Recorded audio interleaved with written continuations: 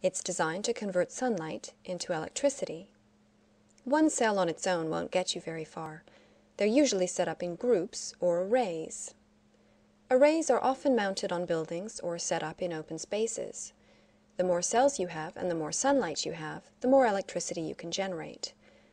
You can use this electricity to run something, such as a toaster, until the sun goes behind a cloud. A more practical idea is to connect the array to batteries. There are many ways to use this technology. Photovoltaic cells, or PVs as they're often called, supply power to parking meters, street lights, and buildings large and small. They are often used in conjunction with other electricity sources. Arrays for large-scale power generation can be huge. Big ones, on a scale like this, are called solar farms. But whether you have 10 cells or a thousand, the principle is the same.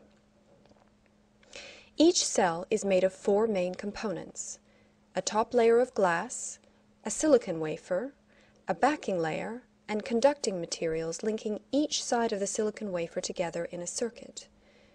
Most PV cells are silicon based. Silicon is chosen for its semiconducting potential and easy availability. The silicon wafer is very, very thin. Here's a close-up. Each side of the wafer has been treated differently. These treatments affect the behavior of the electrons in the silicon atoms, creating an electrical field at the internal interface. One side has more loose electrons bouncing around and is negatively charged.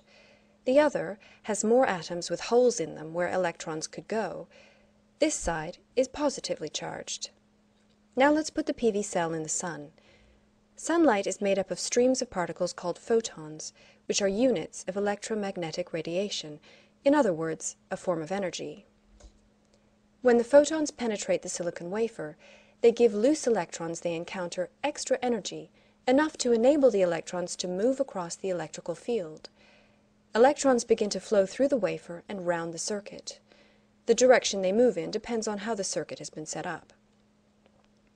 So now we have a flow of electrons, in other words, electricity. We can harness the electricity by incorporating something we want to run, such as a light bulb, into the circuit. Or we can place a battery in the circuit and store the electricity.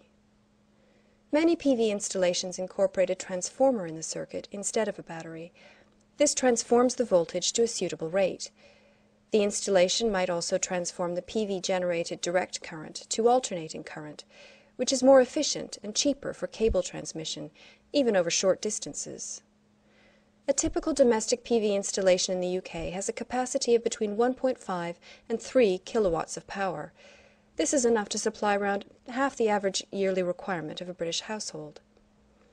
Any extra power generated could be fed into the community's power grid, helping power other households. The more microgeneration sites you have, the less demand you place on the country's main power stations.